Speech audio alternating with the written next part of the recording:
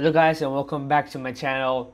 Feels weird saying it since I haven't recorded a single damn video since like October. But anyways, like, let's get going. Uh, today we're going to talk about Gameweek 20 review and Gameweek 29 review. Apparently the double game week has been confirmed, so we're going to look at some of the options from Manchester City and Arsenal. Then we're going to look at captaincy options for Gameweek 29 and we're gonna look into my transfer plans right at the back end of the video so if you are new here and uh, you want to see my sporadic videos, which I won't make for another year, click subscribe, hit the like button as well, and uh, let's get going into the video. So Gameweek 28 review, I got 50 points. I took a negative 8 hit as well, so I got 42 net points, which is really strong in the context of this game week. Any other game week is piss poor, pack your bags, leave the goddamn country.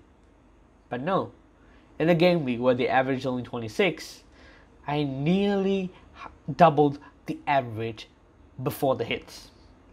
And you might say like, okay, you had the hits, otherwise it would have been 50 points. Hear me out. I had one, two, three, four different players who returned in this team. I brought three of them in that particular week. Pope, Fernandez, Jimenez all came in game 28. Without them, my only return in the game week would have been Troy Deeney. And he had two points written in the stars. Like, I did not expect him to return the way he did against Liverpool.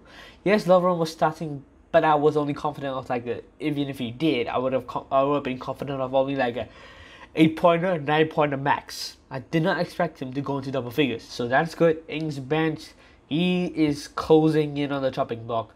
Soyuncu two points, Leicester are shite. Webster two points. I don't know how Brighton keep playing extremely well and finding a way to not score, concede a shit goal, and lose the damn match, either home or away.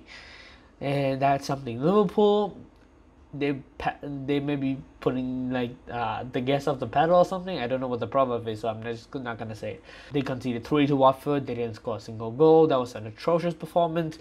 But everybody has triple Liverpool, so that those three are like dead spots. Saiss is the fourth member of the minus eight, aka the clown of the bunch. One point only, I nearly brought in Jota and Doherty for Jimenez and Saiss, but I because when Vardy was out, I had the cash, so I went for Jimenez instead of Jota, and so that allowed and uh, that didn't leave me enough money to go Doherty, so I went Saiss, and I didn't go Boly either. I went Saiss, so it was like a punch in the gut, but uh, we move on. Now we're gonna talk about game week 29. So, game week 29, double game week confirmed for Manchester City and Arsenal.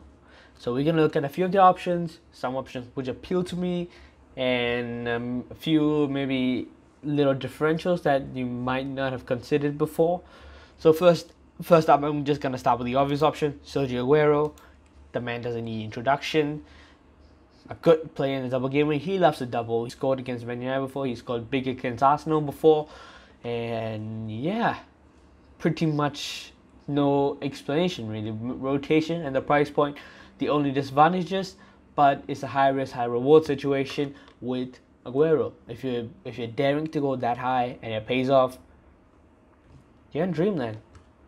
And that's it. Now we're gonna move on to Kevin De Bruyne. I, I'm bringing Kevin De Bruyne because of the injury.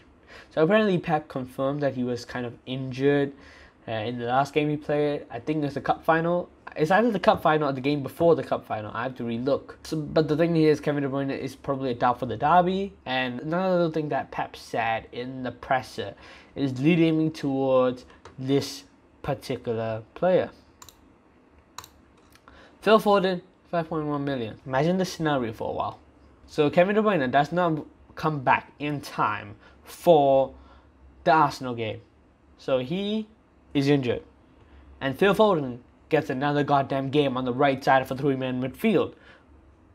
Imagine Phil Foden, 5.1 million, playing on the right side of a midfield three in in a team that is the highest scoring in the league. This is FPL goal. I mean, if everything clicks, he could have a 20 point in the double game. That's all I'm saying. And your rank could go booming up. Like for my let's say for my rank, I could go from like 120k to something like that. 50k just because of Phil Foden. Nobody else. Just because of Phil Foden's potential haul. That could happen. Just saying. Another guy that could boost your rank, Riyad Mahrez. Uh, the only problem with him is his uh, minutes, but we can see in the past that he is starting to get a lot more minutes. And here's one interesting thing about Riyad Mahrez. So he has 17 goal contributions in 1,351 minutes. That is a return every 79.5 minutes. Let's compare it with some of the league's highest scoring players who have had a lot of minutes this season. Salah, 21 goal involvements at 102.5 minutes per goal involvement. Mane, 21 at 94.6 minutes per involvement. Jamie Vardy, 23 goal involvements, 95.3 minutes per involvement. Aubameyang, 20 involvements at 110.7 minutes per involvement. The league's highest scoring player, Kevin De Bruyne, has 26 goal involvements at 82.6 minutes. So if you look at it that way, he's actually performing on par and better than some of the league's best and high scoring players, which is a really good sign, really. It is a high risk high reward thing because if you get him and he returns, your run your rank jumps big. Because I remember the Leicester game, he had an assist, right? I, before that assist, my rank was closing in on 200k. Right at the end, Myers goal, Jesus assist, my rank went from 200k to 165k. That's what I'm saying. It all only takes one teeny tiny return, and you are shooting up the ranks. And the last option that I want to talk about is a little of a controversial option because we have all been burned by him this season, and uh, I don't know if many of us are brave enough to go there again. I'm talking about this guy, Nicolas Otamendi. Hear me out before you click the before you exit the video. Hear me out. Hear me out first. Nicolas Otamendi at five million. He has scored goals before. He scored against Watford. He scored against Man United. He scored, I think, in the cup before. His threat from set pieces is known, is renowned. And you have Man United and Arsenal, both who can't defend set pieces. And you are looking at a potential goal at 5 million. 5 million. This is the price that many bought Lucas Digne, Matt Doherty, Ricardo Pereira last season, saying at 5 million, you're not expecting clean sheets, you're expecting attacking returns. He's at that price. Why not take a punt on? And that concludes my Man City assets. And now we move on to Arsenal assets. So the first guy that I want to talk about is Pierre-Emerick Aubameyang. I mean, I'm not going to talk about. I'm just going to mention him as an option because he is probably the best player, the talisman, and all that. We all know that 11 million captaincy option. When I'm not going to talk about him. Now we move on to the next option, Nicolas Pepe, a punt, a high risk, high reward punt, just like Riyad Mahrez. He's known to explode. He's more of the kind of an explosive kind of player. He's not consistent, but when he returns, he returns big. That's why I select like Nicolas Pepe. But I think, I mean, Nicholas Pepe against West Ham is probably the one that I'm targeting. But Nicholas Pepe, I'm not pretty certain of a return of him against Man City. But against West Ham, he could go big. That's all I'm saying and uh, then there aren't many options after that. Probably my man, Bukayo Saka. Where is he? Here it is. There's Saka. He's playing oppos- reverse out of position, but the positions he take is something else. He's always on that left wide flank, coming in, putting crosses in. Arsenal's highest assist. I uh, the guy with the most assists for Arsenal in this season. Tierney back, but my personal opinion is that I don't think he will be slotted back into the starting 11 real quick, given Saka's form. And Tierney has been out for a really, really long time. I'm pretty sure he was out right after I, after I made my last video. So that is a long time. So Saka, I think he could play both games, but after that, I'm not really sure anymore. And that's it. Apart from that, you have uh, David Luiz. Clean, maybe one clean sheet for Arsenal against West Ham. But the thing with David Luiz is he can always pull off that magical through ball. He's done it before at Chelsea. He's done it before at Arsenal, and uh, he could do it again.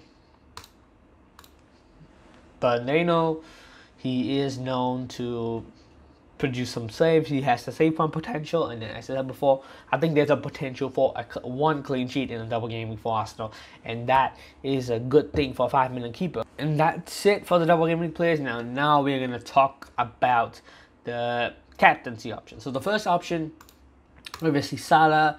He doesn't have a double game week, yes, but he's against up against Bournemouth. Salah against Bournemouth. Since his debut, he's faced Bournemouth five times. And every single damn time, he has scored a goal against Bournemouth. We remember the hat trick, but even before the hat trick, he's known to return against Bournemouth. And so he's straight in.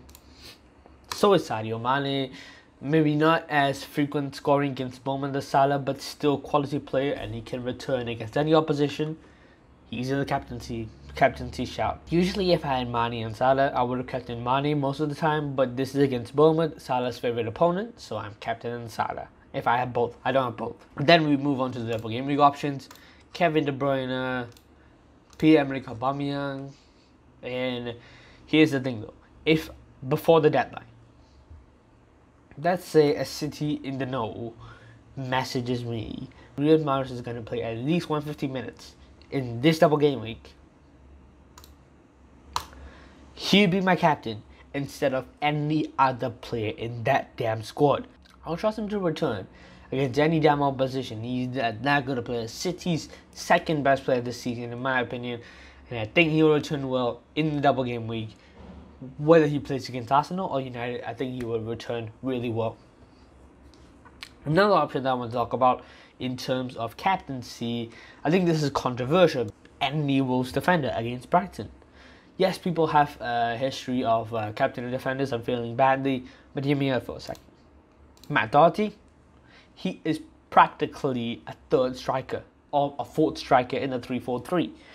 He's practically in the box, around the shooting ranges and he will get a goal or an assist against Brighton who are sloppy as F at the back. And here we go on Willy Boly and Romain Saïss. If you have the guts, if you have the guts, I would stick it out in one of those two. Particularly because of Brighton's set piece defending. Of the unfortunate ones who sat through 90 minutes of Brighton versus Crystal Palace. And let me tell you, Brighton set piece defending is absolutely atrocious. So if Moutinho or Pedro Neto or whoever is taking the corner can whip a beauty or maybe even a half decent delivery into the box, you're screwed because they don't defend well. And that is probably oh wait, there's one more option. There's one more option for captaincy. Apparently he the Messiah is back. The Messiah is back and he is facing Aston Villa, who practically can't defend as well.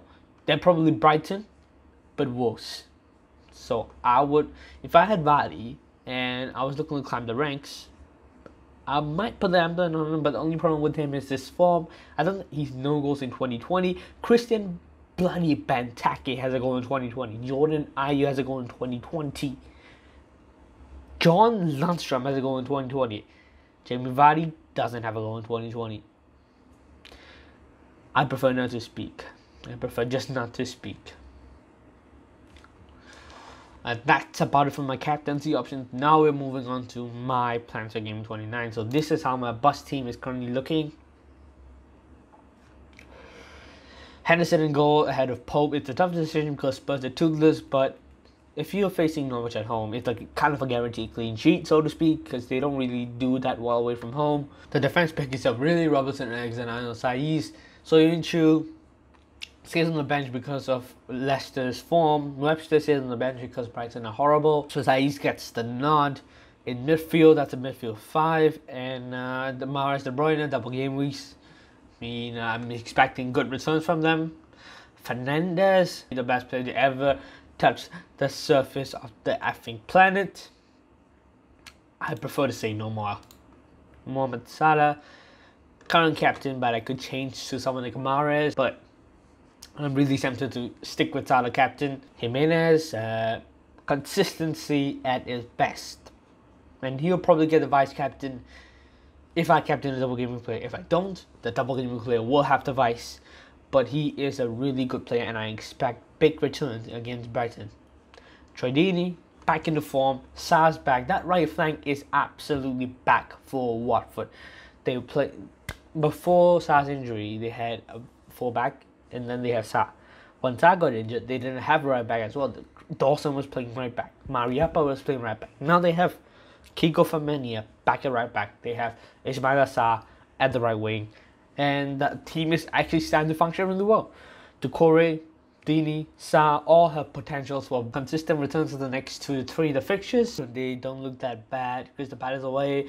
Palace aren't the best of teams. Leicester at home, Leicester, Leicester in poor form at the moment, so they could sneak a win. Burnley away could be a good match. Southampton at home, Southampton a bit sloppy recently.